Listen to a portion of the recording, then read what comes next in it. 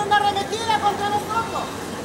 Está tratando nuevamente de tener una campaña de exterminio en contra de nuestras comunidades. Si nosotros hoy estamos acá la miel, con nuestros pies descalzos y no pisamos nuestra tierra, no pisamos nuestra tierra, es simplemente porque nuestro territorio está ocupado, porque nuestro territorio fue usurpado por los cuicas. Nosotros también somos los que debiésemos estar de vuelta en el sur, de vuelta a nuestro territorio y estar caminando libre. Venezuela!